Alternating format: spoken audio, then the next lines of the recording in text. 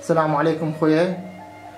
اليوم برد شاكر فرع البصرة زائرينكم وعليكم السلام ممكن تشرح لنا عن وضعك؟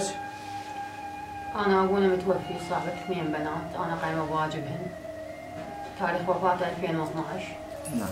من ذاك اليوم لهاليوم أنا قايمة بواجبهن. ما عندي معين عليهن. وبيتي أجار 350 وعايشين على الله على راتب الرعاية. وأجار 300 وفتحت لي مشروع.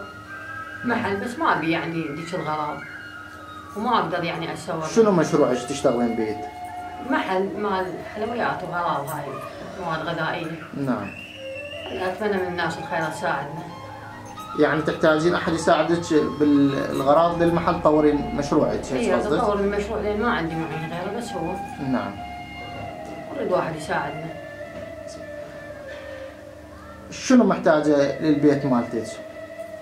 محتاج مثلا مواد غذائية ملابس للبنات ما أقدر يعني كل هذا اوفره أنا لهن. نعم. الاغراض البقية مالتك لا يعني الحمد لله الناس ساعدونا الحمد لله عندي غراض. الحمد لله. بناتك بيأصف وبيأصف؟ إيه، سارة صغيرة صف الرابع ابتدائي نعم. وبنين صف أول متوسط. نعم.